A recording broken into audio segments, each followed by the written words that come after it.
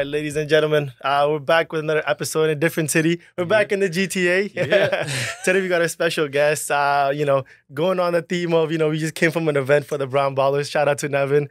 You know, he had a dope uh, event down in Edmonton, and then you know just following up on it, we have Aryan Sharma today in the in the studio, and you know we're gonna we're gonna cover a different facets today in our conversation. You know, we're gonna kind of talk about the entrepreneurial you know role you want to get into now. You know the the athlete aspect that you went through during college and everything, and then even like having a stint at the Montreal Alliance and how that all came about, man. So you know, and even starting up your own clothing brand, you know, one that you're wearing right now. And Yeah. actually, I'm becoming a fan. The more I Yeah. watch his videos and the way you produce content, it's actually so dope. I, I, I like this is not even to like kind of like hype you up, but like you don't see that enough in our community. I, No, I I- don't. The way you Mm. create your content is actually so different, and then how it kind of speaks to you one on one. Because even that video you put up of him, that uh, I think he was talking. What were you guys uh, in the content in the reel he was talking about? What was it about? You know what I, mean, can't- though, right? I remember. I, I did share one of his it, it speaks to you like one on Yeah, one, no. and even like when you have your clothing brand and the way it was set up and how you're presenting it is different. So you know, you know, introduce yourself to the audience that No, might not know about appreciate you. Yeah, so my name's Aryan. Um, first of all, pleasure to be here. I'm super excited to to chat it up with y'all. yeah, Um, and yeah, like you kind of hit the nail on the head. Uh, basketball player, entrepreneur, creator. Um, my thing is, I just try to go through life and share things from my perspective, Yep, and yep. Mhm. and just try to just be the best version of myself in whatever I do. yeah, Um, so yeah, I, I played basketball, um, University of Western Ontario. Um, I was on the Brown Ballers yo. team uh, since actually the first season. Um, and then yeah, I played uh, in the CEBL Montreal Alliance, and uh, since then, you know, I've used basketball to kind of start my own things on the side, whether that's content creation. Um, I've, I've always had like a YouTube channel for the past few years that I kind of just try to showcase that I'm more than just an athlete. Athlete, yeah. Um, and yeah, No, no, no, no. It's, it's, it's, actually pretty cool, uh, like for your journey. Um, the thing is, like, a lot of people don't know how to pivot when it comes to um, after finishing your career. Because a lot of the time, like, it's either like after you finish, you put so much time and effort into something. It's like now you got to pivot off into a Yeah. different venture. Like, how do you do that? And especially at a point where, like, for example, for yourself, like you finished at Western University. Mm. Now you're like, okay, how do I pivot into a way where like I can make a career out of something? Mhm. a lot of the times, like especially coming from a you know a South Asian household, what is like the prominent thing to go into? Have some career that's set Yeah. up, whether it's in a well-established field, accounting, or be a doctor, or be this Mhm. or that. And now, like content creation is something that's a nuance in our community. is, It is right. You don't see many out there, or they don't see that's a viable option. That you actually can make a career out of it. You know, Yeah. obviously you you gotta know the couple tricks here and there, which you kind of looks like you're trying to hone in on, given the videos that I've seen of you. So you know, just going back to your early growing up, because your brother, he, Yeah. uh, he got signed for, with Virginia, correct? Yeah, yeah, Yeah, so- right now. Yeah, yeah. So Ishan, that's his name, right? Yeah, I'm not good- Ishan. yeah. So Ishan, so you know, shout out to him, man, doing Shout this thing. No, for real, man, because like Virginia, that that's that's not an easy thing to accomplish, Yeah. man. Oh, How many like apnees that hooped out and go to Yeah. like is it D one, correct? Yeah, yeah, D one. yeah. How many Japanese D one players are out there, and you, uh, you know currently not that many. Yeah. Like count, I, I don't know that many actually. I don't. No, I don't think there's like because one of the things like they were saying too, like when they were recruiting him, was like there's not a lot of There's like not. Indian or even like South Asian like athletes playing D one, Yeah. and like for Virginia, like they're like high level too. Like they're in the Yep. ACC. They won the whole chip in uh in 2019. So it's like on that stage, like you don't see him. So yeah, shout out don't. Ishan, man. Yeah, I know for real. Shout like, out Ishan. You, you gotta give a flowers to the athletes that deserve. You know, one thing I see the similarity between you guys when you guys play ball. You guys got like this. You know when people you see the way they just move and bounce around. Yeah. You guys have this weird like elastic way you guys jump. Yeah, Even yeah. the way you jump, and I see some You know, of the it's- dunks, it's so and I'm like, bro. Because me and Ishan's like our games are so similar, yeah, but at the same time, like we're polar opposites. opposite. Yeah. You know, like I got the athletic gene and he got like the insane skill. yeah. So like when you see his game, it's like everything is like super skilled. Like he's obviously a shooter. Yeah, yeah. My my game is like a little bit more like on athleticism Inside, above the yeah. rim. Yeah, like Yep. inside outside. So it's like we play like almost the same, but it's so different at the same time. It's so weird. Yeah. Yeah. Like, I No, don't know how. Like 'cause- Look, sometimes it's just genetically the way you guys are kind of just like made as well, right? Yeah, Because yeah, a lot of the time, like you know, these type of genes are not granted in our culture. They're not. How many you see brown kids out here doing windmills or like doing tomahawk? You don't. Yeah. No, honestly though, like I, I, I kind of like the running joke in the family is like how you my bro with no bounce. Right? but like it's crazy because like he won, so he won National Player of the Year this year. Oh wow. Canada, right? Yeah. And uh, I was like telling him, and I was talking to his coach about it, and I'm like, he might be the only person ever to do that without having dunked in a game. Crazy bounce. Yeah. right? So it's like it's crazy because like that just goes That's to show you like you don't need to be doing all these like crazy, Crazy dunks or something to yeah. like like he's like a walking example of that, Yep. you know? And like whatever every time I talk about him, I'm a bit biased because I'm his bro and I love him and all that. That's how Yeah, it should be, but man. uh, no, like it's like like I tell him all the time, like yo, like a lot of people, like you said, like they don't have like the tomahawks, the windmills, whatnot, but you don't need it. don't, Like you yep. won Player of the Year, and you didn't do it. Dude, yep. You know what I mean? You don't So gotta it's like- change for like giving what people think is right. yeah, Your your basketball will speak for itself, and winning, Yeah. you know, as you said, athlete of the year or for. Ca- or Canada and whatnot, Mhm. like that's accomplished by what he has put forth, Mhm. not by what he should change to please Exactly. other people or what seems appealing to other people's eyes. That's Yeah. not gonna get you nowhere, Yeah. right? Mhm. So even like myself, people always make fun of me. You always make he always make fun of me. He's like, bro, how you six three? You can't dunk. I'm like, I just don't got it like that. I can't jump. I just can't. Yeah. You know, you gotta know yourself. So you know, it's like understanding your game and honing in on it. That's key. And then, you know, one thing I wanna ask you is your childhood and the way Mhm. you guys grew up. You know, obviously you guys are two brothers. You probably a crazy competitive man. Yeah. How your parent, you know, kind of navigated you guys' whole situation? Yeah. Because you know, obviously, our parents they, they're more gravitated towards what's the safer side Mhm. you know, and uh, what will lead to more you having a better career Yeah. and uh, just a successful career from what they have done. Mhm. You know, that's what they want. They want them to you to surpass them.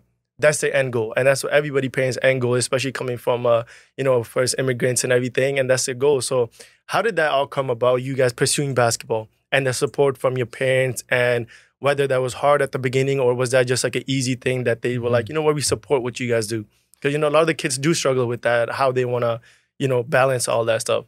Yeah, so it's honestly like, and I say it all the time, like me and my brother have been like super blessed with like very supportive parents from the jump. Obviously, like in our culture, like like you said, like there's that pressure to kind of get into that high status career role because it looks good for you, it looks good for the family, it, like yep. it's, it provides you stability and whatnot. But I think like for me, like the one thing was like, so my dad, he played high level cricket in India. Oh wow. Um, and then so he told like he tells a story that when he was either like trying to go full time like athlete route or because he, he he went to school for engineering like uh, Mm. like typical brown like engineer. He's yeah, an both my parents yeah. went to school for engineering. oh damn. Um, yeah, so so he's like his his father, so my grandpa was like he told him like you should go to school because at the time there's no money in like advertising. It wasn't like that, like how it it is wasn't now, like that. Yeah, Yeah. yeah. right? And he he told us a story that like he was crying for days Damn. about it. So then he now like he was always from that philosophy that like if he ever has a, a kid that wants to pursue sports, he's gonna support it hundred percent. Mm. And then like shout out to my mom too. Like she's always been like me and my bro, like no matter like what we're trying to do, like I've convinced my mom to do some crazy things for me too. I can't Yeah. lie. Like, but like since since we were a kid, like she's always been super super supportive. Um, it's funny because like they there's always a supportive side, but then they also always place like a heavy emphasis on like school and academics. Yeah. So it's funny because like when I was in, um, I started university in health sciences to try Wow. to become like a doctor myself. Yeah, University. and then I switched into business. But like for my whole life too, it was always like, hey, like you should get into med school, you should Mm. get into medical, like into the medical field. Um, but even through that, like sports was always like a way that they could just like support us, my parents. Um, I feel like once they started like realizing that we were actually taking it seriously and that this is something that we're not just doing as a hobby or we're not just doing it just because like yeah. yeah, just for the hell of it. That's when they started being like, okay, you have our full backing. I mean, they, they've always been like, you have our full backing, but that's when they started kind of like really investing in the fact that, hey, you can get a scholarship it might be something right? it. Yeah. You can play professional. Um, I was the first person in my family, I'm the oldest too, that took sports seriously. So for me and my childhood, it was almost just like we didn't have the information to navigate it, right? Because it was like there was nobody else. We didn't It's a have any nuance advice. to it. Yeah. Exactly. So for my brother though, on the other hand, like we've always like we we've already been through the experiences for me. Mm. So then they were almost just like even more like knowledgeable and like in tune of what to do and the right decisions to make and the wrong decisions to make and Yeah. and whatnot. So yeah, like ever since a childhood, like I know that's like not the norm, but that's what my me and my brother's thing has always been. Like we've tried to make something out of sports, whether it's like we got our education paid for or we got to play professional, or it's like opening doors, like just to have this like a conversation like this is through Yep. sports. Yeah. Um, so we're trying to just kind of like narrate the path that like there is an opportunity through sports, through athletics, but it just has to be supported like by your whole circle. Yeah. Mhm. And that's the main thing too. I'm like having um, a circle around you that actually sees the same goal that you see through the same lens and supporting you. hmm And you know, a lot of the time that's some even nowadays kids struggle with that where parents like, no, this is not a viable option for your Yeah. career. Especially Mhm. professionally. Because you know, it is not easy. You're not you're not gonna make it to the NBA like just like that. It, it requires a lot of like sacrifice from all parties. Obviously, you gotta showcase whether you're actually serious about the support. And for you, you gotta showcase that to your parents. And you know, kudos to them. They're seeing that potential in you guys. Be like, you know what, you guys can make a living out of this, or have some sort of outlet where you- this is something that's viable for your future. Mhm. So you know, having that, it, it- it's actually it puts you at peace It because does. now you're It not does. you're not struggling with like, okay, my parents are like, I can't really do anything with this. Mhm. Do I just drop this and just go full time? As you said, I could go into go into medical school or Yeah. or you know, whatever that will give them a peace of mind and give me, I guess, a peace of mind, thinking that oh, I'm doing something right Yeah. you know Yeah. so it, it's not easy to navigate that for a lot of the kids that do struggle out Yeah. there you know just understanding that you gotta show the work and put yourself in a position to succeed you Mhm. know and, what and, and what's the one thing that you can say to the kids that do struggle with that you know that narrative or, or not even narrative that's a reality of showcasing their parents and just kind of be like this is something viable that they can do like how would you say you can go about that or even pursuing opportunities outside or small things to do that you know now you're aware of like well i could have done that Mhm. or i could have done something different you know looking Yeah. back at your career at western university or even in high school I think the biggest thing, especially for kids like right now, that they need to use to their advantage is social media. Mhm. Right? Like social media, like Instagram's almost a new LinkedIn it is It to a certain it is. extent. it is right? So I feel like especially like the the resistance that like parents have most of the time is that they don't see the end goal or they don't see the future outcome or they don't see the progression of what it could lead to. Me too, yep. Mhm. Right. So I think that kids nowadays like should really like hone in on the fact that like I can showcase my skills on social media. It if you have an iPhone, it doesn't cost you anything. You can record your games. Yep. Yeah. Like when I was in high school, my mom would sit court like sit and record my games with her iPhone, and I'd like get mad at her because her like phone like her lens It's was blurry. Yeah, yeah, yeah. but like you can get like so I'm saying like for the kids, use social media to showcase your talent. Like social media is such that if you're good, somebody will find you. Yep. Yeah. And then the other thing is that if you're good, also you can you have like proof right there, like, hey mom, hey dad, my Look video has gotten yep. this. So and so has reached out. This coach is interested. This coach is interested. This Mhm. can pay for my education. Right. So once you kind of show them that like tangible proof, Yep. Mhm. I feel like that's when people like really start getting on board. Mm. But it's so easy now to get that proof on social media. Media, yeah. Right. You just have to leverage it the right way. Yeah, and that's a powerful thing about social media nowadays, Yeah. man. Thing is, like as you said, it's like a it's like an advertisement for yourself. Mhm. You're advertising yourself to the world at a cost of nothing. Yeah. It doesn't, Exactly. as you said, like it doesn't cost anything for an athlete to put uh, just set up, have a small little stand on an Mhm. iPhone, Yeah. record your game. It Yeah. doesn't cost you anything. A lot of kids, like what they have to realize is it might be uncomfortable at first, Yeah. or be like, oh, what's that guy doing? But Mhm. one thing that I, I put a big emphasis on is just tune out the people that that noise. Yeah. Tune out that noise. Yeah, There's gonna yeah. be people you probably met in your life where like, well, Aryan, like he's not gonna go nowhere. Like, what is he doing? Like, Mhm. why is he doing this? Because you always you're gonna hear that noise Yeah. a lot. Yeah. You know, a lot of the time that one bad thing about like any community there is, it's like that negative side. Nine out of ten times people look at the negative side rather than what he's actually doing or what she's doing that can lead them to success, you know. And then one thing I do want to understand from you is how do you narrate all that negativity that you that you get or even like the backlash you might get from like family members or this, that, and just Mhm. navigating all that. Because it's not easy, man. Mhm. Like it, it gets to your head. It does. Then yeah. you doubt then you start doubting yourself, but like, is this something actually viable for myself? Mhm. Like, is it even worth it? Am I just, you know, sacrificing everything my parents did just for my own selfish perspective that I want from my life, you know? Mhm. For me, honestly, like, and I think I'm a little bit of a psycho for it, but like, I love it. Yeah. Like when I get like negativity, like on a road game or Yeah. just people on social media or like people from my hometown who like they didn't think I could do it, Do or yeah. whatnot. I love it because it's just more. it's more people to prove wrong, Yep. Yeah. right? So for me, it was always just like when I was in like for when I was in uh, university, I had a, had a list. I'd call it the kill list, Kill it. right? and it was all the names of people on like on the, on the teams who have either one talked something to me, yeah. Yeah. b like I just like You just Like- didn't like. I I didn't like that. um or That's like funny. when the when the crowd would when the crowd would be like saying like negative things like Yeah. I love it. So like all aspects of it, I just embrace it as much as I can. Mm. Mm. Because at the end of the day, like I've realized like the only people who are talking negative to you are A, either jealous or B, wishing that they were doing what you were doing, Doing, yep. or C, have no way of doing it. yeah. So they have to bring someone else down, for them yep. to be up. yeah. Yeah.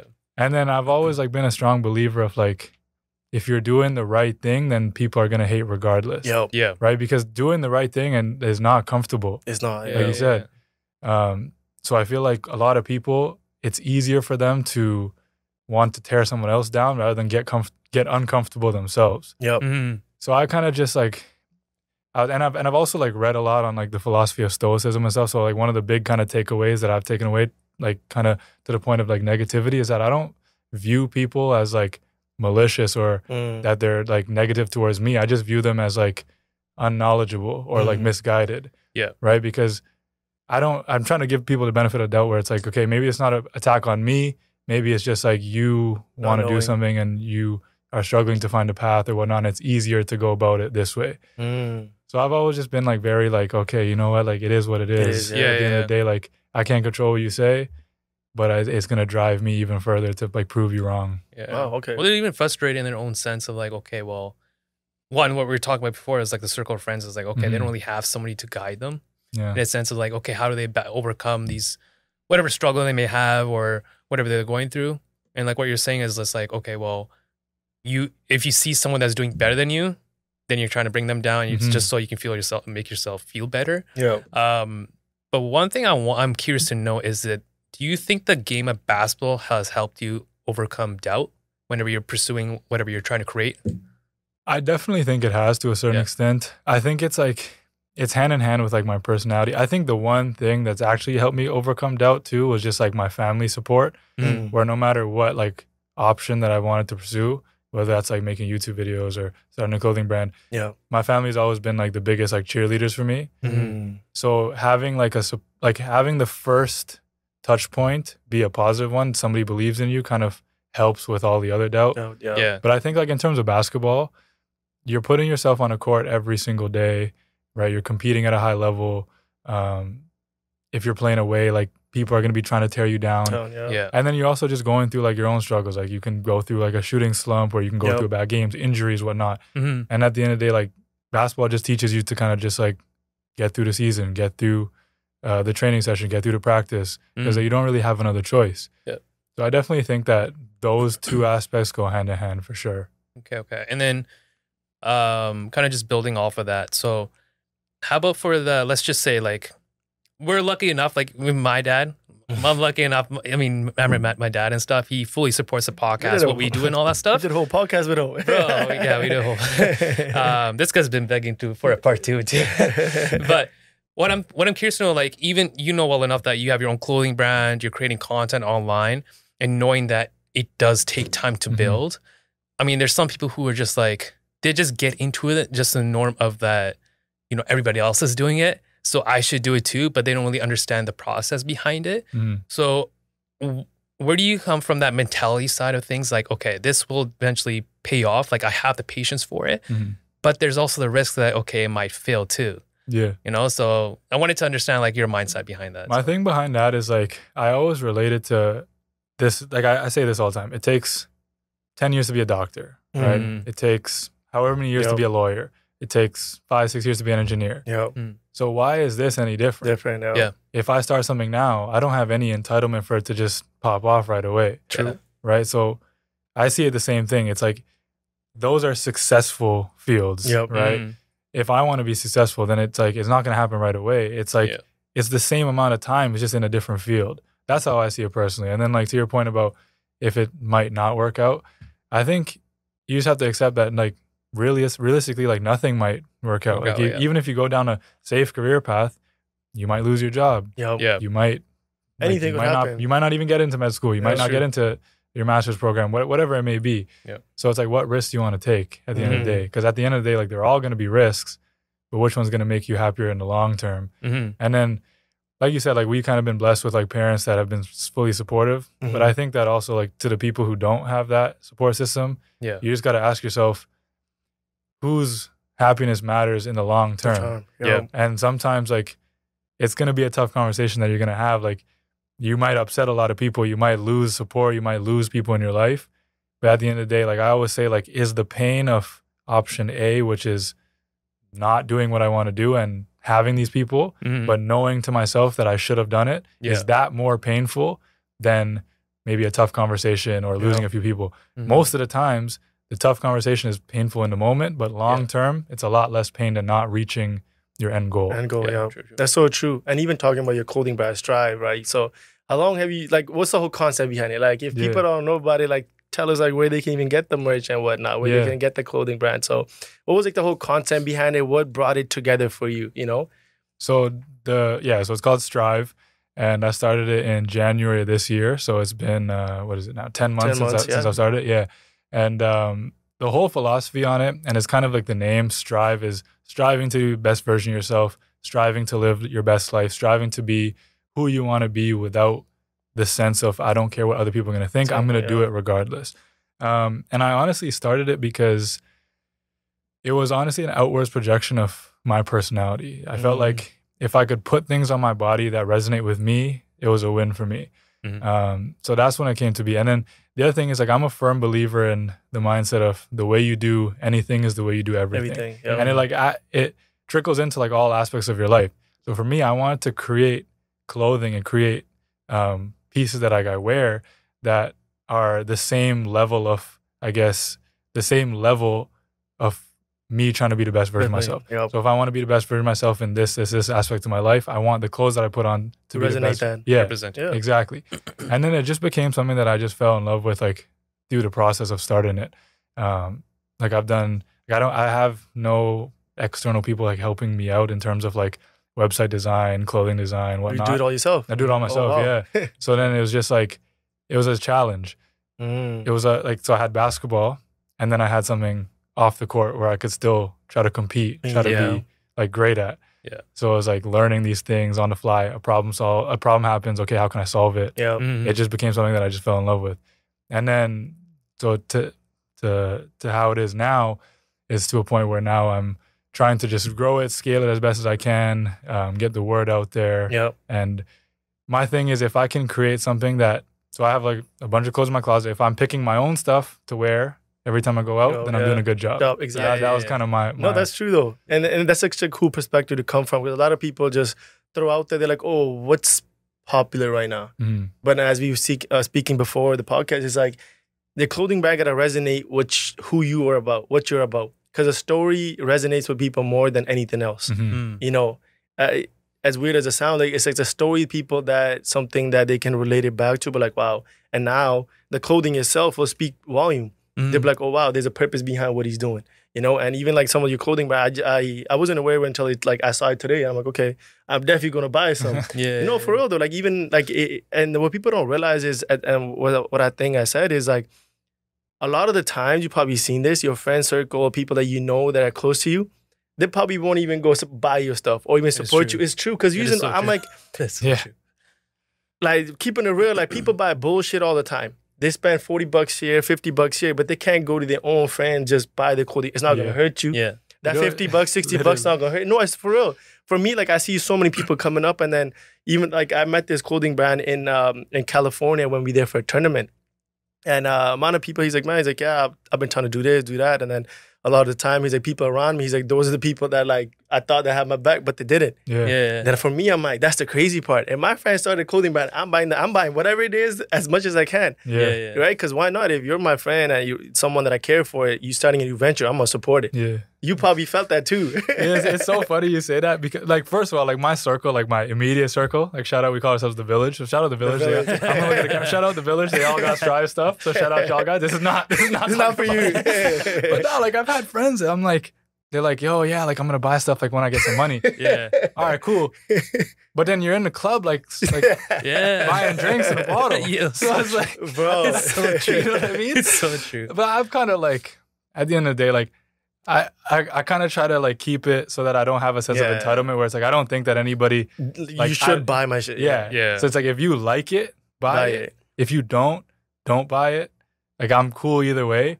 But Mm. like my thing is like yeah, like don't the the fake support. Yeah. You know what I mean? Like, I hate that. Yeah. Yeah. That's the one thing I always tell people. I'm like, man, I hate when people be like, well, I'll do this, I'll do that. But like, you ain't gonna do shit. Man. Yo, Like, even, even if they do want to, they're like, yo, just, They just give me one. They give me one, and they're like, they don't want to pay the, pay the price, but like, yo, Yeah. homie, hook it up. yeah, yeah. You know what's crazy is, is they're hesitant in supporting the people around you, but they're not hesitant to throw money away with things that has no real meaning to. it. As you Mhm. said, going on a club, or spending money on drinks, Yeah. buying this or buying that. It's like it has no meaning to it. The meaningful thing that you could do is supporting your friends, whatever venture it is, even if it's something that they're doing, support it. Put it on your story. It doesn't. Yeah. It doesn't cost you anything. Right. You know, thro- do something with it. At least show them support. It gives them a sense of hope. And like I got people around me that support what I'm doing. It does, yeah, man. It, like it, as you know, you could probably resonate to it. it. It's for example, if it's one of his people that he didn't expect to put it on his story, be like, oh, I just bought my friends, da da da.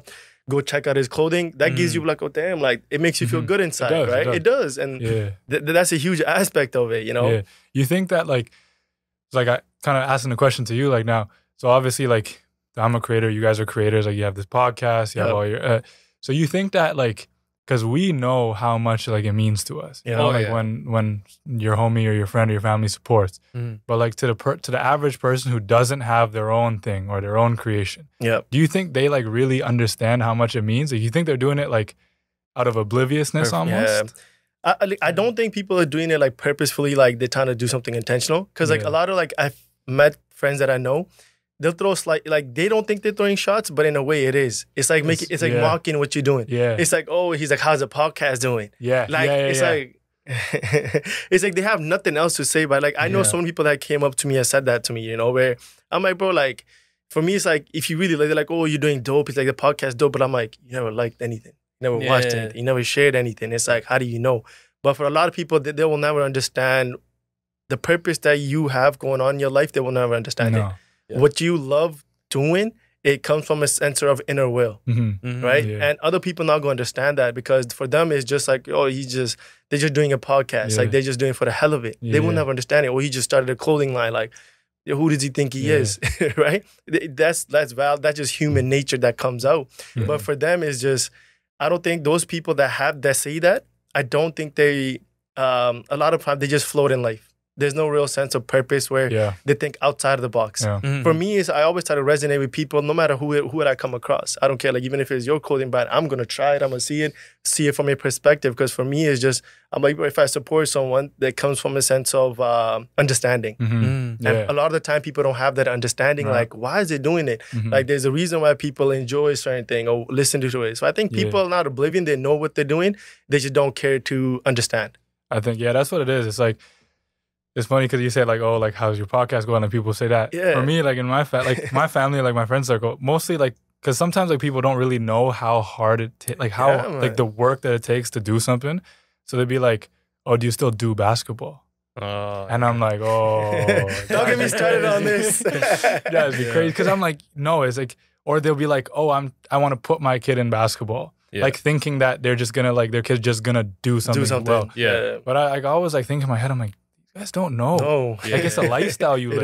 is, It's yeah. how you sleep, how you eat, how you like How you go about your your day. body, how- yeah. Exactly. Yeah. Like same thing with like, with your podcast. Like it's like a whole thing. Like it's It not is, just like a, oh you have a podcast. It's like oh no. you have to do like the production, Bro, like, editing. Yeah. Yo, like, editing is a You- whole. But people Yeah. don't realize, I could make a minute, uh, like a minute long reel, but I'm sitting there making that reel for an Like hour. hours, right? Yeah. I'm like, okay, Yeah. th- this is no, this doesn't look right. I gotta Yeah, edit to the millisecond. Yeah, right? and then the thing is, like, people don't realize how draining that is. Day in Mhm. and day out, you gotta put consistent. Like, yeah, obviously in this world, you have to put consistency. 100%. If you don't, like, if for example, I remember like for like almost like a week and a half, we didn't post. Like, Mhm. almost, yeah, I was caught up to two weeks. I'm like, damn, bro. I'm like, here for two weeks, bro. I'm like, the engagement is gonna go down. Yeah. I'm like, people not gonna watch as You're much. It's like, yeah. So now it's like yeah. it's like it's like a burden. You feel Yeah. like, damn, bro. But Mhm. I'm like, you know what? We still got good content coming up. It's okay. People will resonate with it Yeah. we'll get on that train again of consistency. But people don't realize that though.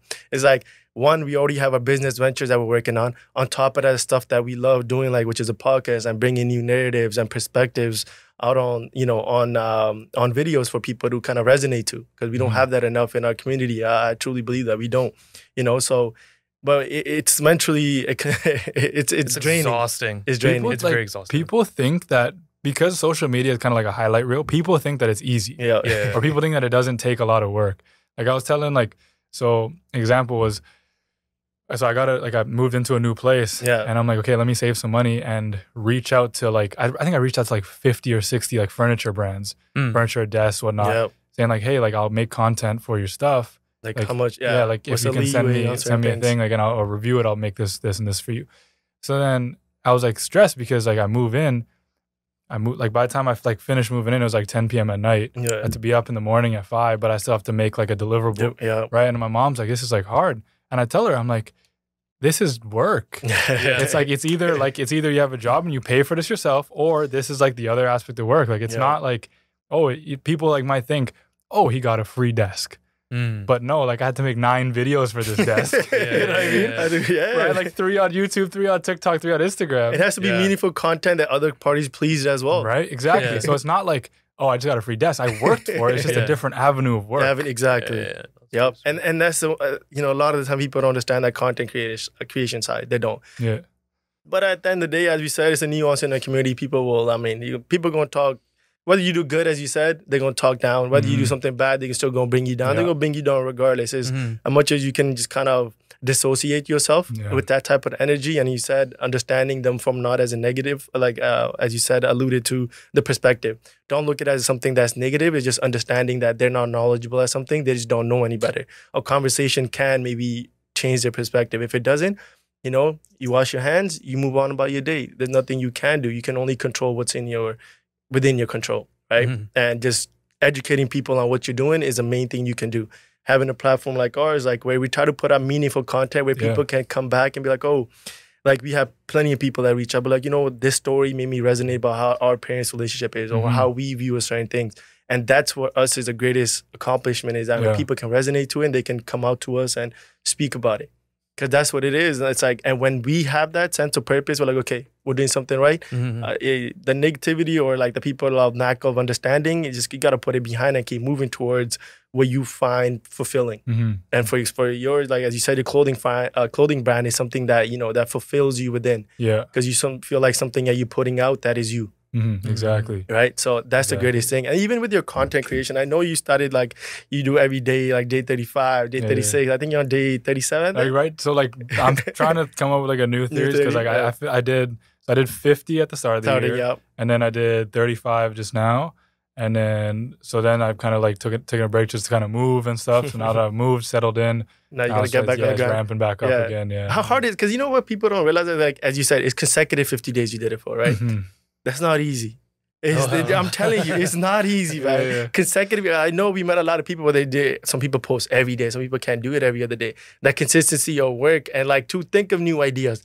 A lot of That's the the time, it biggest can be repetitive. Yeah. Like if someone goes on your page, but like, bro, you're just talking about the same thing over and over. Like, why am I here? Right? Mm. How do you navigate that? That's you know that social construct of like, okay, I gotta bring something new. Audience gotta perceive this, or even if you're putting a video out teaching about people how Mhm. to start something new. How do you na- how do you navigate all that and try to gain you know So attraction? the the one thing that I've kind of learned is that the easiest way to kind of just bring a fresh perspective is not by coming up with ideas, is just by documenting what's going on in your own life. Mm. right? Because every day you're going through something new, you're gonna have like a different experience. Like for me, like I've made videos of like I watched this movie on Netflix. There was a quote that resonated with me, Mm. or like I have one video. It's like I literally woke up and I'm like, today I didn't do shit.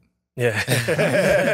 You know, like- that's real life. It is true. and it's like if I'm gonna do it every day, I'm not gonna try to come up on camera saying like, oh, you know, today I was like very productive. Yeah, Like I literally came on camera, I'm like, yeah, I didn't do shit today. I'll see y'all tomorrow, right? So it's no, like, that's real. but I think like, and then to, like to how to keep it fresh. Like I think for me, if I sit down and like I have to create something, I'm not gonna create Mm, I'm not. I'm just like if I force myself to creative, it's just not gonna happen. But I have like I know the times that I'm creative. Like one of them is like when I'm in the shower for some reason. Like just ideas are coming. Yeah. Hydro bills going up. so I'm in the shower, and then I know like so I have my like phone. I'm like right outside the shower because I know like I'm gonna write all the ideas I came up with now. So then I have like seven, eight days worth of stuff. Yeah. Maybe yeah, it's not gonna be posted right away, Mm. But at least an now I have that idea bank. Yeah. So it's like for me, it's finding those like moments of like when I'm the most creative and like Mm. really capitalizing on them Document to get that, a yeah. lot of stuff done for the times that I don't feel creative. Like even there's um Just I interesting. forgot their forgot his name. Kai. Like even Kai, Yeah, like yeah. he does like streaming for like 24 hours, Oh, 48 Kai hours. Yeah, Yeah, yeah. yeah. Right? He's just sleeping, just doing random bullshit. Yeah. And people, and people love it. people love it because it's so I mean, I don't know what it is. Maybe it's just because it's so genuine. It's just it's just him being him, Mhm. right? It's nothing fake he's doing and stuff. He's invited like I don't think it was like Kevin Hart, Yeah. all these guys and doing some stuff, yeah. bullshit. But thing is, like, stuff. i- i- what you gotta realize is we're in a different era. a Yeah. kid that's ten, kid that's eleven, they got a phone. Yeah. Right. Everybody got a phone. Yeah, yeah, Right. Everybody got a phone. So for them, it's like capturing the audience in a different way. Like, obviously, for them, they're doing the purpose. Like, because uh, at the end of the day, it becomes a career to them. Mm-hmm, because True. that's what they that's what their career is. Yeah. They gotta. You know, I, I think there's one video I saw of him. He was talking about that. Like a lot of the stuff, some people like. Obviously, it's a privilege to have a platform as such where it's paying you such lucratively yeah. and you have the ability to do it at your own time. You're not constrained to anything. You know, obviously you got to put production out there, but at least you have the luxury of like, okay, I ain't gotta wake up at eight, and then you know by the time it's four, I gotta submit this report. Yeah. I got an employer talking shit about Yeah. me. Yeah, I might yeah. get fired. that, then it is a luxury, but people like, I saw this one video. I don't know who it was. Um, I think I forgot what the streamer's name was. He's like, streaming is harder than working like a nine to five job or something like that, right? And then maybe in his perspective, it was. Maybe it Mhm. was, but a lot of the time people don't realize like how blessed social media if you're actually making money off of it Yeah. Yeah. what blessing that is Yeah. Mhm. you know and, and people shouldn't take that for granted so if i think it's just uh, social media is just a, such a it's a lucrative business it's a business now It is. It is. right and and that's what like one thing we i want to talk to you about is i talk this all the time uh putting your morals or values over certain things because now one thing that i hate i hate i hate is goddamn betting sites left right Oh center yeah, yeah, yeah. bro. Like I hate Oh, it to no. the core because like you go on Sports Center like before a segment starts, they're like, okay, Toronto, Scottie Barnes, nine rebounds under or over, Yeah. 26 under. This is the segments before the games. As a 13 year old kid, 14 year old kid, this is what you're perceiving all the time. It's normalized now. But like, mom and dad, can I set up this account? You're 14. No, you can't. Right? And I hate it. A lot of people just, they're like, okay, imagine they have a platform. They're okay to advertise that. Yeah. But like, what are you teaching? You know? I think I think like it's to your point about it is a privilege, but it's also a big responsibility. It is, Like you said, like eleven year olds, ten year olds have phones now. Yeah. They got data plans. Yeah, yeah, they do, they For You know, like I was like Fruit Ninja on an iPad that wasn't even mine. it's like you four or five friends Yeah. passing it around. Literally. um, but not like like people like It especially these kids like yeah. these are like when when we were growing up. I'm, I'm a little younger, but like, when, I was, when I was growing up, like it would be like the actors or like the, the athletes that you saw on TV that would be your role models. But now Yeah. it's like the people you see on YouTube, YouTube Instagram, streaming, yeah. TikTok, right? And a lot of it is what you said. Like some of it is just bullshit. yeah. Yeah. So yeah, yeah. I think it is a big responsibility of like you have to understand that this is not just you creating content, but it's What you're promoting. actually Yep. reaching people. Yep. Your voice is being heard. Like for the, especially like the bigger influencers like Kai Cenats of the world, you know, Yeah. like the people with millions of followers who are doing this as like a full time career. They're like basically they're celebrities. They are, yeah. Right? They're on the Mhm. same level of like Like a Hollywood rapper or actors. this. Yeah, Yeah, yeah. 100%. Yeah. so they they have to understand, I think we all have to understand is that it's a big responsibility of what you're putting out. Yep. the message has to be such that it's not setting up the youth or setting up these kids who are watching it to be bums. 100%. Mhm. No, it's so true. And then that's the one thing that I always hated. Like, I hated these DraftKings that people that support gambling websites, like they promote it. Like Mhm. stakes on their on their streams, this that. But I'm like, man, people don't realize is gambling debt is one of the lead made causes to suicides. Yeah. And Yeah. people don't take that under consideration when they're promoting these platforms. Is when you engrave that at a, such a young age and the audience perceive it, and they are they're picking up. Literally, pe- people pick up loans to Mm. gamble on these websites. Loans and what what does that lead to? You know, as unfortunate that is, people a lot of them they can't pay it back or they picked up too much or they do end up committing suicide. I have a different aspect Because because we, thing is, had, like, we, we, we had and him go back and forth because he's like, bro, he's like, why wouldn't you take it? I'm like, because morally it doesn't feel like If someone DraftKings like, yo, can you promote this? I'm like, I couldn't. Mm, Even if they told me the million dollar, I couldn't Really. because I know like in my head it's not gonna feel right when I wake up tomorrow, knowing as you said the responsibility aspect of what I'm Mhm. telling the other, the what's normal for the youth. Because it's like if you, I don't know. Let's say if um, because my my thing is like this is like okay, well, They're gonna get Ga- it somehow. gambling. I mean, I'm not saying gambling is good, right? At the end of the day, Gamble responsibility. Gamble responsibility. but my thing is like this like you can't control what a person does at the end of the day Yeah. if we don't if they i'm not saying like they have like they're gonna gamble because we're promoting it but they're gonna see that regardless whatever advertisement it is right whatever marketing it is like there's a bunch of other podcasts that are like i don't know the pivot they have uh, what is it draftkings right they don't have it anymore. was it fanatics they have fanatics. well, fanatics, Fanatics is different No, Fanatics is a clothing brand though. yeah yeah, yeah. They- yeah. but they but there's a bunch of they did uh, have DraftKings before. yeah, they had DraftKings before, but it's just like, okay, well, at the end of the day, like, you got to do it for your own benefit. eh, But the viewers, the people that are watching it, it's their own responsibility. Okay, well, you know, maybe this this is maybe this is not something that I should be doing, right? Yeah, there's a hard balance between I, the I two. see what you're saying. I see what Yeah. you're saying. Like I'm almost. I think I'm like in the middle ground of both of you Yeah. guys. Like yeah, I think like because I strongly believe too. Like Yeah. some people, they just need to take responsibility of their own actions. That's true. Yeah. right. Like it, you can't babysit everybody. yeah, yeah, yeah, But at the same time, like I'm thinking just like on the other side, it's like what if like what if I was a kid, 10, 12 years old, Yeah. I didn't really know what gambling was. Yeah. Yeah. Right, because I think, I, like, to be honest, I think gambling is like certain, like, at a certain point, it's, I think it's an addiction. It, it is. It is, it is, right? Yeah. So like a 10, 10 11 year old who doesn't know, let's say, for example, let's say their favorite streamer is supporting like a Mm. gambling website. Website, yeah. And then now they don't really know what it is. And they go up to their parents like, oh, I want to join this site. yeah. Yeah, Parents like, okay, yeah, sure, whatever. Like, They don't know any cool. better. They don't care. Right. Yeah.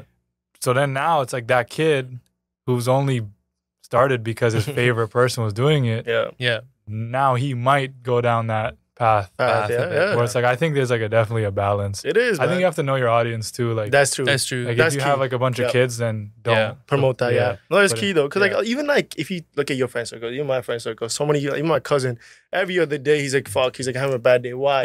the ticket didn't hit. I'm like, I don't give a fuck. I do not gamble. Like for me, I'm like, I don't care, about. Like I do not. Yeah. Like I never done it. Like my cousin uses my account because it's lucky. This is how superstitious they are. Like this is crazy. He's like, I'm like, use your own account. He's like, no, no, no. He's like, I've been lucky on yours. Like, what the fuck does that mean? You're gonna put the same bet on yours. What does it make a difference if it's on Yeah. mine?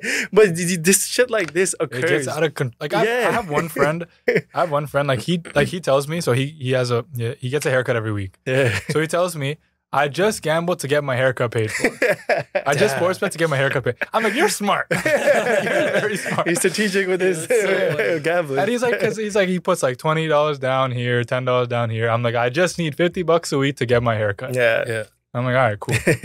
so funny. But then I have like other friends, like you said, nah, like I'm not coming. To Yeah, the, having to a bad day tonight today. because I'm like, why? The parlay didn't hit. Are you kidding me? it's it's crazy, dude. I'll tell you a funny story actually. So there was a game that I played in. I'm not gonna say when or whatever, but like I, there, I was on, like I had a like a whatever over under on me, Yeah. and then I didn't play well this game. Right, so then Man's weeks. DMing you. no, no, not even that. It's even worse. A couple weeks go down down the line. It's maybe like one o'clock in the morning. I'm in bed. Right, I get a call from one of my boys, FaceTime call. Right, I pick it up. I'm like, why is he calling me at 1 a.m.? Yeah. He's at the club, popping bottles. He starts yelling, "You're underpaid for this." Oh, What sick. the I was so Yeah. mad. I was so mad. Yeah, that's nah, that's I crazy. was so mad. I started doing push-ups at 1 a.m. yeah, I that's so crazy. Yeah, yeah. No, man, this shit, uh, gambling's getting out of control for some people, Yeah. bro. And But it's, thing is though, like I'm not gonna lie, like I do, I do play the lottery. Like every week. it's going to hit. yeah, like I'm like I'm like I strongly believe I'm winning the lottery one day, and I tell myself like I'm like I'm gonna only win once if I do win, Yeah. and if I win, I want it to be like one of the bigger, Bigger ones, ones, You know, so I only like enter if it's like 30 You plus. the max. Yeah, yeah, yeah. Because I'm like, if it's like 17, then I'm like, ah, I won the small. one. I But yeah, that's that's the one that I don't like. Yeah, like I don't I don't sports bet one because like I just don't pay attention to like sports that much. for me yeah. like I don't watch like when I was playing like basketball like in university like I was watching so much of my own film that I didn't have time to watch NBA. yeah, yeah, yeah. So I just didn't don't know what's know going what's on. going on yet. Like all my my boys would be like sports betting or in fantasy leagues. I'm like I don't even know what's going on. Yeah, yeah, yeah. Me like I don't even know what music is dropping. Y'all gotta send it to me. Like I'm like locked in. No, that's where So I was like I didn't like that. I never got into it. No, But, no, yeah. no. You know, one thing we do want to touch upon is, um, you know, obviously, you know, as we talked about at the start of the podcast, uh, brown ballers. Hmm. You know, started started from Nav, uh, Navin with the idea of uh, putting, you know, people on a platform where it doesn't have to be just a basketball player. It could be any fields, as he said. It could be a business, or it, it just what does it mean to be a baller? You know, and obviously, you you work with him as well to try to elevate that platform to Mhm. where you know we can have people out there with more eyes on our athletes in a South Asian community, you know. So speak on the experience working with Navin and what that platform really means for you guys, and even playing for India Rising. Uh, No, did you play in the first? I didn't see you I play in the first. yeah, no, I played did you in play the the first, one. Yeah, the first one, the second one. I didn't play in this past year Mm. because I got surgeries over the summer. Yeah. But hopefully, be back next. No, year. no, hundred percent, man. You guys balled out. The first year was crazy. I took Yeah. everybody by. I was watching. I was Yeah. watching live streams.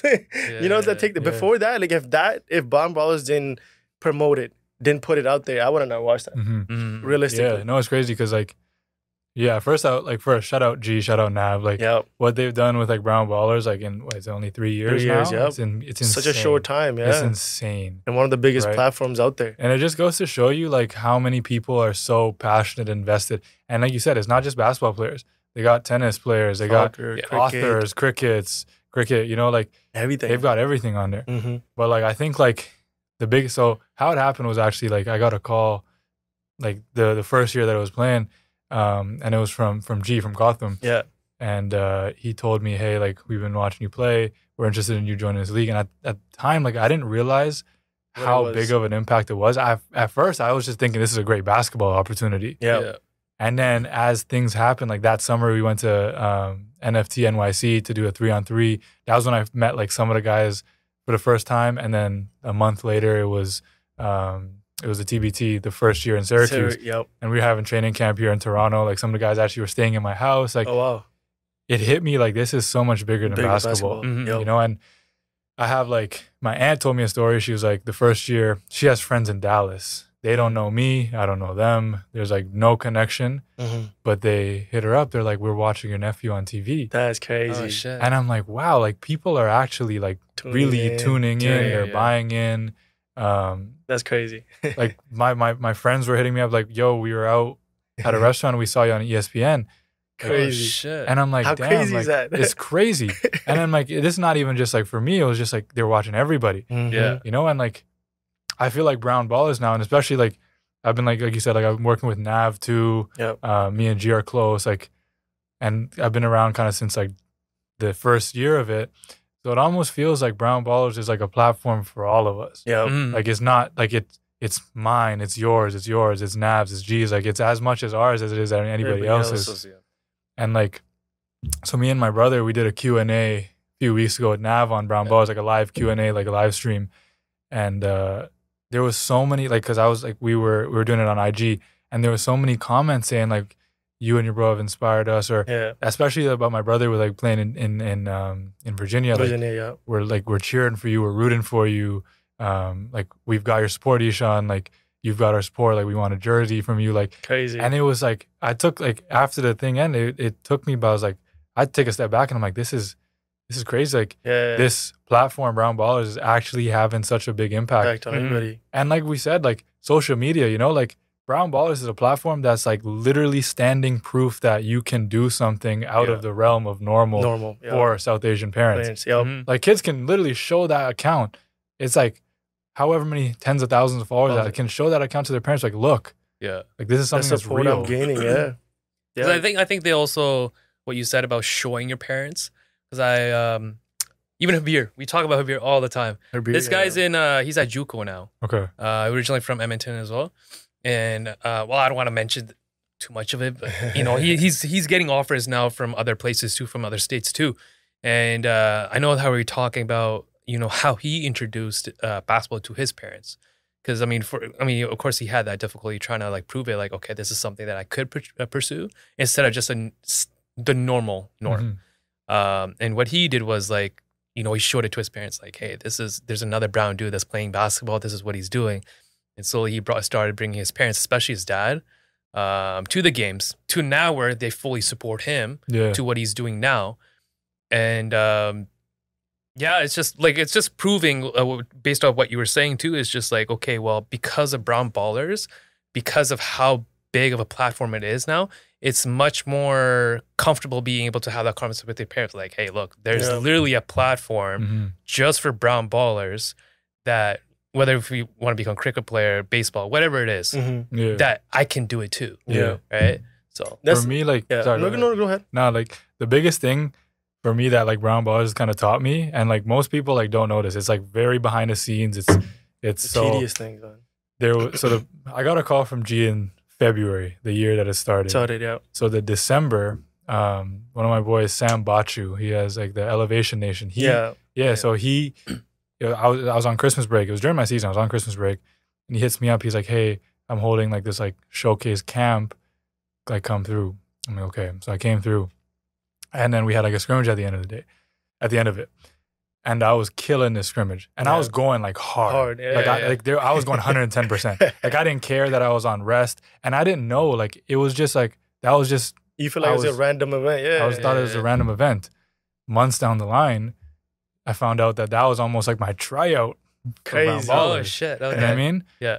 And they saw like they really took notice of me from that camp, and it taught me that like brown ballers in general, like taught me that valuable lesson that like no matter where you are, whether it's a showcase, a ra- Yo. you think it's a random camp, right? Whether you're on ESPN, Mhm. you got to go 110 percent, like regardless of it. Showcase what you're Right. capable of. because like if it wasn't for brown ballers and it wasn't for that showcase camp Chasing, and it also wasn't for like my own mindset that hey yeah like i have a few days off my season like this should be time for me to chill but i'm like no if i'm on a court i'm going Going, yeah. Mm, right so it's like That- that that lesson that like that was connected to brown ballers like yeah. I don't like tell a lot of people that but that one was like really what taught me like hey like you gotta go like if you're gonna do something you gotta go You know, that's so true. And you know, like one thing I do want to say is commendable from your aspect is because you are so young, man. Like we are, like obviously we're, we're older than you, like a couple of years. But one thing I will say is that's commendable mentality.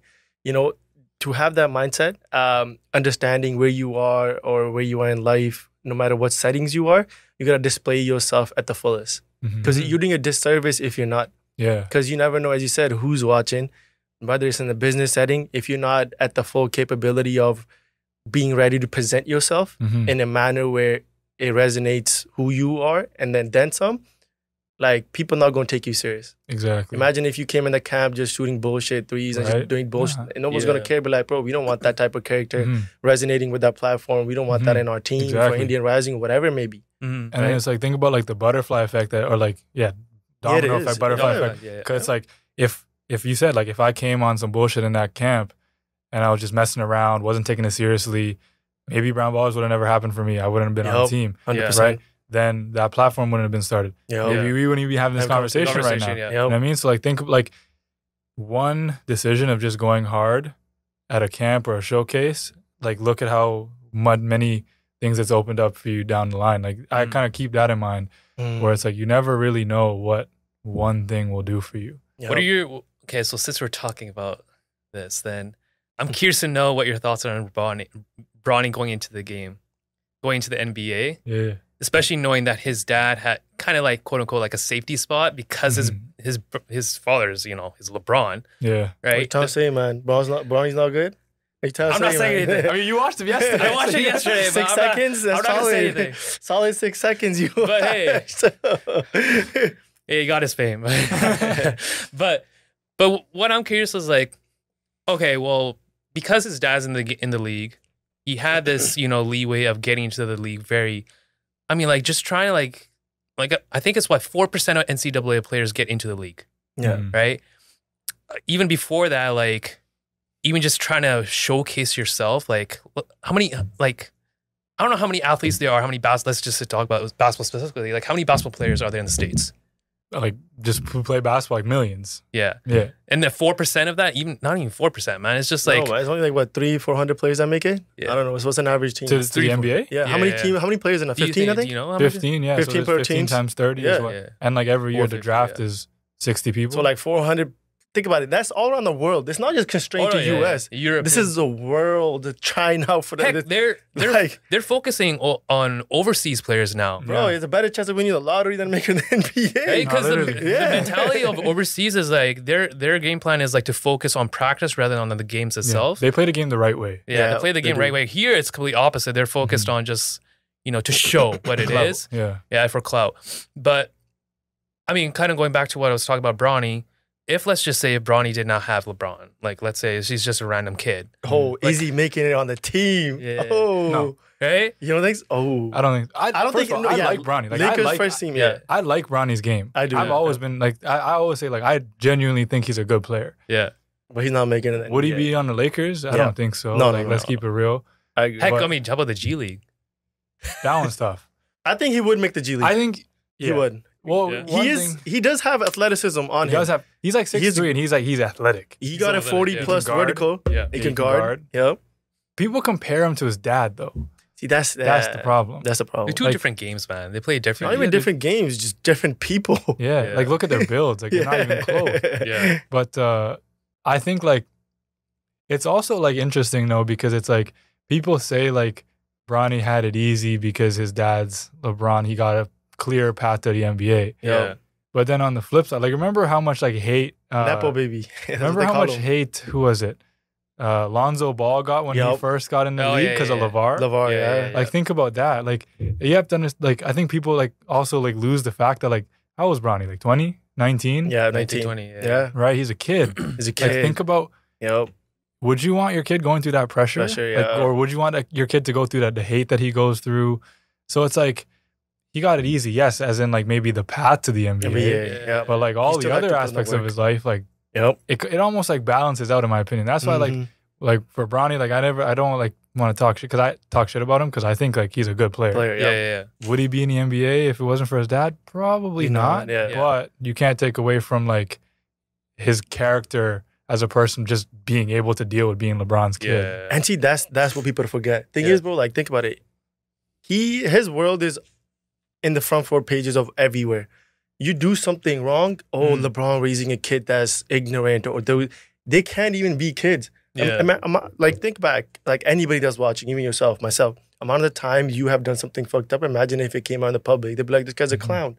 He lived through a lens where he had to be this perfect kid that he can't tarnish what his dad has built. Mhm. You know how that's a lot of pressure to live with Oh, at a, such a young age. You can't do what the normal kid does because how is he going to look out on paper because my dad's going to uh, image going to get tarnished or whatever it is. Yeah. He never says anything negative. Even if you listen to his post game press conference or even like practice, like listen listen to him. Yeah. he sounds like someone who's like twenty five plus, like professional.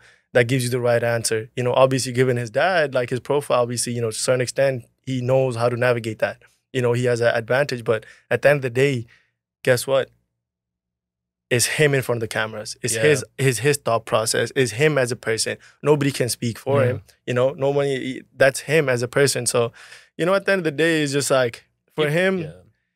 I understand what you're saying, but you know, it it comes with that's just life. Mhm. You know, it, that's what it is. But there is a lot of Yeah. Unfairness. There could be a couple European players that do deserve that spot over him. There could be Mm. some other players that deserve that spot over him. 100%. That's a valid, you know, conversation to have. But yeah, I understand what you're saying though. Yeah, no, but there's this. I mean, I didn't understand like the whole part of because for I mean, of course, we came from a middle class family, Mhm. right? So for us, is like okay, we. I want to say we had we learned stoicism quick enough. I think it's just because what I'm trying to say is that okay, we have the privilege to make mistakes Mhm. and not be judged, yeah. right? Mm. Besides our close friends, whatever.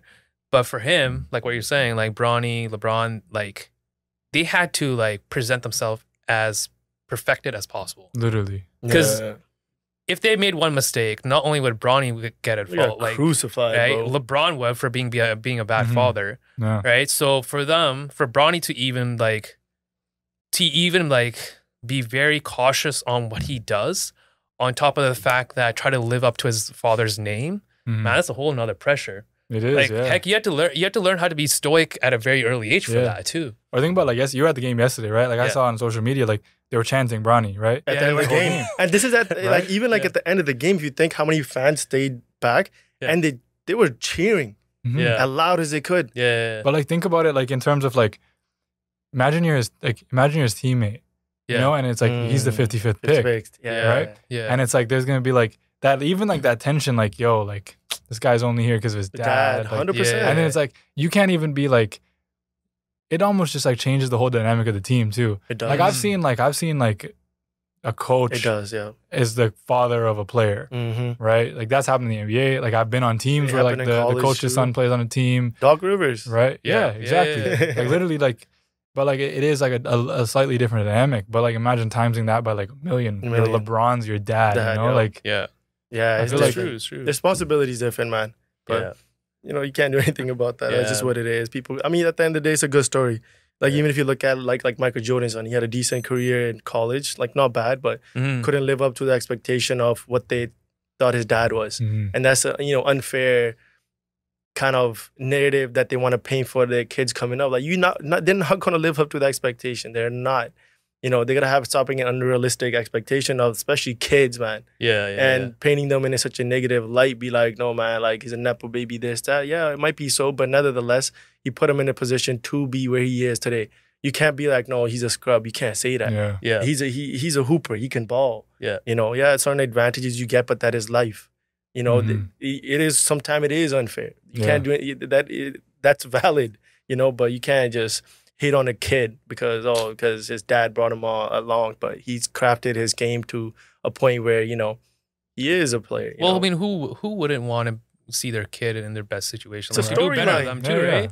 Like, I mean, I I wouldn't blame LeBron. Like, No. at, at the end of the day, like, we would do the same for our kids, too, Hundred percent. right? Hundred percent. But I do. He does some say crazy stuff. Remember when he said when he was coming out of college, he's like, Bronny could replace what he says, seventy percent of the Oh, league. yeah, yeah, Remember that did that. comment? Yeah, That's yeah, the yeah. one. He did I'm, say he that. knows He that I'm that. a biggest LeBron fan. Okay. When he makes comments like that, it's like why, why, Yeah. why? I understand you're cheering from. Why say that though? Yeah.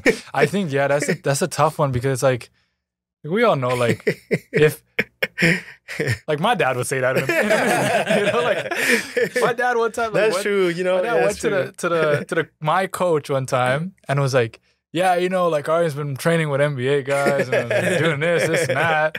So my dad would say that too. Yeah. But I think like, yeah, like my dad's not LeBron, you know? Like, Yeah. I think yeah, like he there's definitely like I think he's been doing a good job where it's like he's been kind of but like yeah, I think there is gonna be those times where he's like he's gonna put his like dad side first. You know, like, Yeah, yeah, yeah. my kid would watch so many of these guys. Yeah. no, which is fair, man.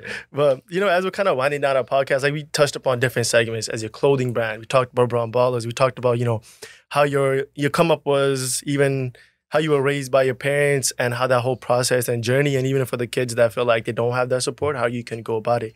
You know, what's like one of the message you can like give out to the kids that or no matter in the realm of doesn't even matter, not even South Asian, just kid in general that's mm-hmm. pursuing sports or pursuing content creation, pursuing something they love. They could be clothing brand or whatever it is. What's something that you can kind of, you know, speak out to and kind of give us some advice because you you are younger than them, so. What's what? Not younger. They they're looking up to you at a, that this point. You're you're like a role model for them, you know, because they're like, oh shit, I want to be like Aryan, you know, like no, it's for real. Because like there's gonna be some kids be like, bro, Yeah. I, I love what he's doing. He was he's good at basketball. You did put up good numbers in Western. You averaged like throughout your career 15. You had some injuries and whatnot, but 15 is not easy. People can on average two or three. Like I don't know, 15 is real, right? So I think the first thing is that you have to understand what your own why is, and you have Mm. to be delusionally confident of yourself. You have to think about it's not a matter of if, it's a matter of when.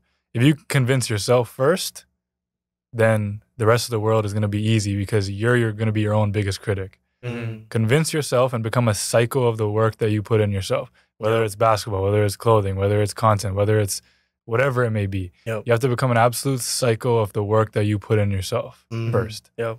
then eventually that work is going to have some form of output or people are going to see that you're going to be putting in that work. Yep. That's when you can go and show the world or show your family or show your people who you want to convince to be invested in you that, hey, this is my goal. This is the work that I'm putting in. This is the output. This is why it's going to happen. Yep. And at the end of the day, like with everything that we talked about it, certain things just might not happen. That's just the way of life. You can't Mhm. control that. Yep. But on your own end, control every possible thing that is in your con- control Control. every possible thing that is in your own control. Yeah. Mhm. And then honestly, and then if the people don't support you, you got to ask yourself, is it even worth it Yo, true. to true. get their support? Or- Yeah. Yeah. I think cer- if you believe in a goal to a certain extent so much that if one or two people don't support you, or even if your family doesn't support you, if you believe in it so much, sometimes you just got to do it alone. Oh, Mhm. yeah. Yep, that's so true though. And then you know that's beautifully said. But one of the question I want to ask: Who's winning a one on one? Me. If you, I oh, mean, is it, I- how you gonna You Yeah, no, no, no, coming. We last time we you can ask him too. last time we played, it wasn't close. Oh damn! Damn. Yeah, no, He's be People- like, oh, yo, yeah. let's run another one. com- no, we no we we were talking about it at the on the live stream, Brown Oh, okay. Yeah, yeah. But like we should do a live stream one on one. yeah. Oh shit. oh, I- yeah, I'm not- that'd be dope. I'm not ducking smoke. I'll do it on live. Ishan West Aryan one on one. We need to see that, bro. I'll we need to see that. Yeah, when he's be in the off season with West Yeah, Virginia. as soon as you said who is winning, I was like, I know where this is going. Yeah, yeah. Yeah, That's so funny, but you know, it, it's it's beautiful to see you have that connection with your brother too. man. Yeah, no, It we, is. Yeah. We we're like we're locked in. You know, yeah. like I'm. I don't admit it to him, but like I guess he'll see this too. But I'm his like biggest fan. yeah. Like me and him have been competitive for so long. There's certain like things that I've done as a brother to him that he probably didn't like at the moment. Like yeah. I remember I set parental controls on his iPhone Oh, so that he couldn't access Netflix over a certain time, so that Time, he had to go to sleep on time to get like proper rest. Yeah. So he probably didn't like those in the moment, but at the end of the day, like yeah, like we're locked. Like I just yeah. I genuinely want to see him like be the succeed Yeah. in life. Yeah, Yeah, yeah, yeah. I want to see him like get achieve all of his goals. Like that's that's my guy. That's love, man. man. I mean, that that's a perfect way to end the Yeah. podcast as well, man. Yeah. Yeah, you know, man. that's a, it was a pleasure talking to you, man. No, You're very amazing. insightful on things, and you you carry yourself in a manner that somebody, you know, even your parents can be proud of, man. For real, Yeah. even kids can look up to you in a manner where, like, yo, this is someone that I can strive to be, you know. And then that's the only thing we can do, just Mhm. put out something better for people who, you know, not to like be like me, but something that can be attainable and achievable, and keep doing what you're doing, chase your dreams, put Yeah. yourself out there, and then leave the rest to whatever you know. It is, It- it- as you sir. said, life. It is what it is, you know, and just keep doing what you're doing, and uh, keep your head head held high, and you're good, man. Yeah. Yeah. No, I appreciate y'all for having me. It's been Yeah. great, honestly, and like even just like talking to you because this is the first time I've met you. Yeah, guys. Yeah, first yeah. time, yeah. and like even just like I could tell like the the messages that you're saying, like the characters, like yeah, this is like this is amazing. You Yeah, know, man. Like, so I, I feel man. privileged to be on it, Yeah. No, no, no. and I man. feel like really like privileged to like meet y'all for the first time. Yeah. no, no, no. So, yeah, so Privilege all ours, man. And having people like you, this is all these platforms about. Having just different conversations that's insightful, and just being, you know, being the role models that sometimes we feel like we're never there, especially Yeah. people that look like us. And Yeah. now people that, if you know, if that's what it is, and if people see it that way, is great. Even if it's one person that we impact, and Yeah, then it that's the greatest, right. you know, fulfilling thing for us. So you know, Yeah. I want you know. Thank you everybody for tuning in. Yeah. We'll be having Yes, the one-on-one live stream for Isha versus Aryan. That's gonna be coming. It's, it's recorded now. It's gonna happen. but yeah, thank you for tuning in, boys and girls. You know, so we'll see you on the next one. Peace. See you.